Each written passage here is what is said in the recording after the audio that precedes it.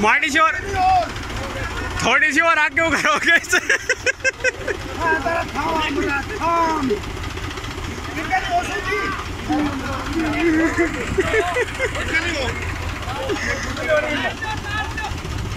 Yeah.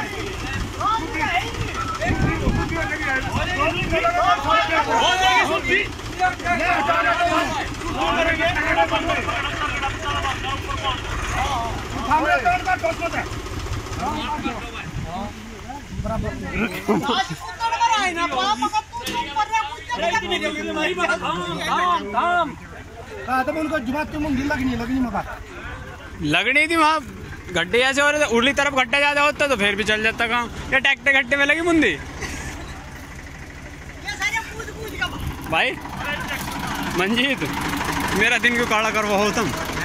मेरा दिन क्यों काड़ा करवाओ हो हालिया